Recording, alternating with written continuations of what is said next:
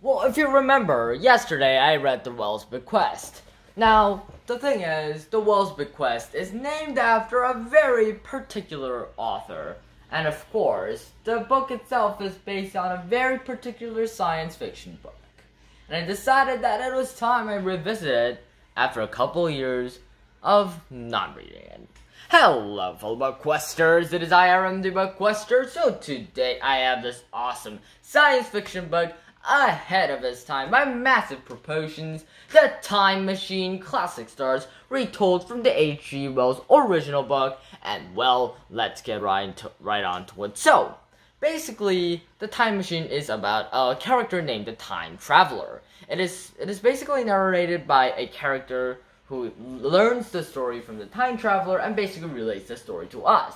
The basic storyline is the Time Traveler makes a time machine. He travels far, far into the future. Um, 800 to 701. Yeah. From 1895. That's quite the distance.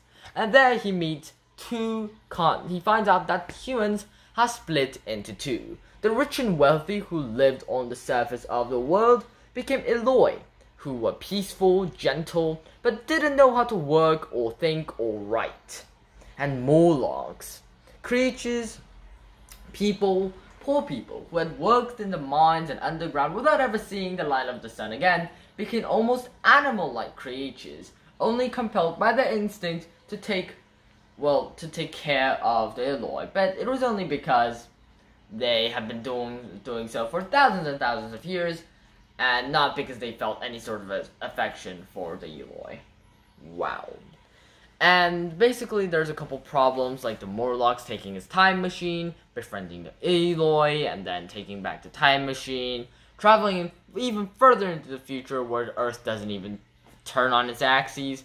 Then, of course, coming back to his own time. Then he says that he'll go and find some proof, get actual evidence, and he leaves. And it says that that is the story of three years ago, and the time traveler doesn't come back. Another mysterious ending for a mysterious science fiction book.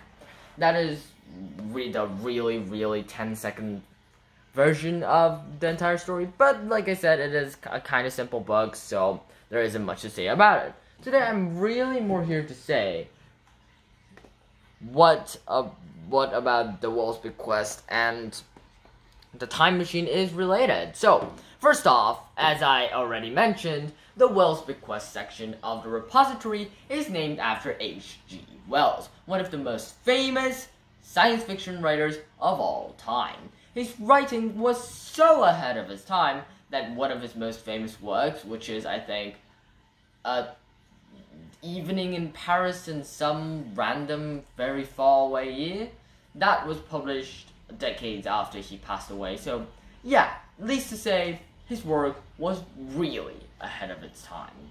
And basically, the Wells Bequest section has all like the science fiction stuff in it. Like for example, the shrink ray, um, the Nautilus, you know, the submarine from eight hundred thousand leagues below the sea. I believe the book. I mean, twenty thousand leagues under the sea. Believe book is here. I read only half of it because I'm getting kind of bored of it, but I'll finish it soon enough. And anyway, it is all in all a very, very interesting section of the repository, and is named after H.G. Wells, who wrote The Time Machine. And of course, um, the entire plot devised in the Wells Bequest is basically after a small minor detail in the Time Machine. Basically, the the time traveler has a little model time machine, a little tiny one about this about this big, and he travels it through the future. And and be, and because that model is working, Leo and Jaya, who are the main characters in the Wells Bequest, decides that if they go to the time traveler's house, go there and stop time even for a split second, they will be able to grab the model time machine and get out of there. And of course, they have a shrink ray, so they could literally just you know shrink themselves and then get in the time machine and use it to travel back into time, which is absolutely perfect. Of course, the actual model of the time machine is already in the repository but it's currently non-working. It's not working right now because because for no reasons. Let's just leave it at that. And I love how these minor details, like about the model, about the model time machine, like and stopping time. It's just very complicated science fictiony stuff. And I love how Polly Shulman pulled that those little details out of this classic book and implemented it into her own storyline, which was so wit-filled and so good. So that's pretty much all I have to say.